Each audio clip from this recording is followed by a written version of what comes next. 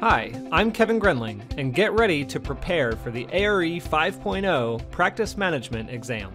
I'm an architect and professor of architecture in Southern California with an acute sense of ARE test strategies. Passing the ARE 5.0 is no easy task, but it is the last major hurdle to becoming a licensed architect.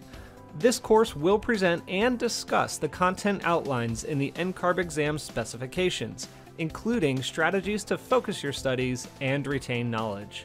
It covers an applied understanding of practice, using real world examples, with a direct correlation to test content. NCARB suggests studying content in a manner that prepares you for success in the profession, and that's just what this course does. Whether or not you are just starting or are already done with your architectural experience program, it is never too early to start preparing for the ARE 5.0.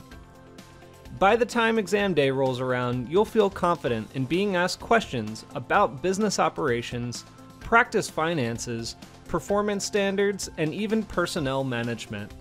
I look forward to helping you prepare for the ARE Practice Management exam. Good luck in your studies, and I'll see you on the inside.